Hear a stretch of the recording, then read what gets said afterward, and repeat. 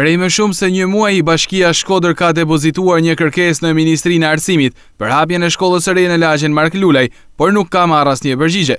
Kjo shkollë për të cilën më parë u zhvillua dhe një protestë, vijon të jetë e mbyllur. Kena çu një kërkesë te kryeministri, ministri dhe drejtoria arsimore. Ka një muaj, hala s'kena marrë përgjigje, nuk është Problemi jonë vënia në funksion të asaj shkolle. Këshilli Bashkiak mori me kalimin, me këshillin e kalumë, pra me vendimin e kalumë për me vendos dy roje sepse firma ka braktis shkollën sepse me të drejtë e ka maru punimet.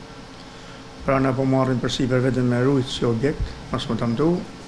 Ndërsa problemin e strukturës kush ka me mësu, prej ka kanë marrë fëmijë, çka ka me kenë fati i asaj shkollë nuk është problemi jonë. Në shkresën dërguar ministrisë, Kërkohet hapja e shkollës, si dhe bëhen të ditura edhe arsyet. Kena kërku me e vu në funksionim shkollën, sepse ajo shkollë është ba për atë komunitetin e lagjes Mark Lulaj. Është ba një studim prej vetë drejtorisë arsimore që ajo shkollë do të përballojë një këtë fluks, faktikisht ajo nuk po vehet në punë. Kanë problemet e veta ma drejtoria arsimore se ka rrjedhje fëmijë, çka janë problemet e tyne. Aty duhet një staf drejtues.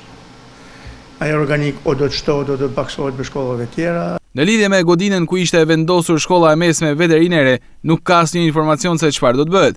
Zhvendosja e saj me vendim të Ministrisë së Mirëqenies Sociale në shkollën e Bushatit është bërë pa dijeninë e Bashkisë Shkodër.